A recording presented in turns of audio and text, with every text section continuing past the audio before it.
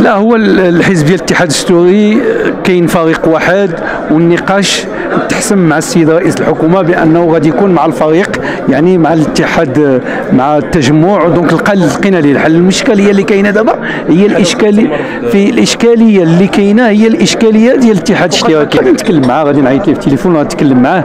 وكيظهر لي بأنه راه خرج موقف ديال الحزب ديالو لا احترمه اللي هو يعني موقف واضح. ولكن حتى حنا راه عندنا موقف واضح.